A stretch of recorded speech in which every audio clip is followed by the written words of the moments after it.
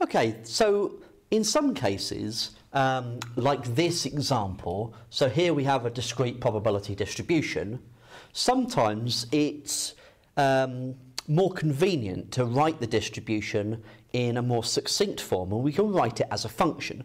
Now this can't happen all of the time, uh, so if I just came up with an example where I had some random probabilities, they add up to one, um, it may not be appropriate or we might not be able to really write a function that will be nice and succinct.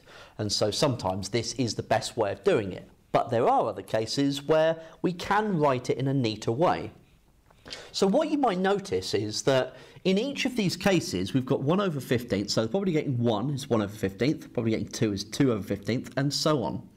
So what we could say is that the probability of x being equal to x is actually, okay, uh, the x value over 15.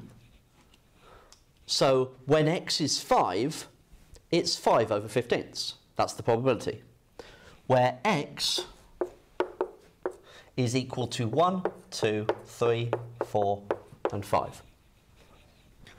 So we can instead, instead of writing all the probabilities out, we can instead write the probability distribution in an, as an algebraic function, where we have the function given to us, and then we're told which values of x uh, is attributed to this.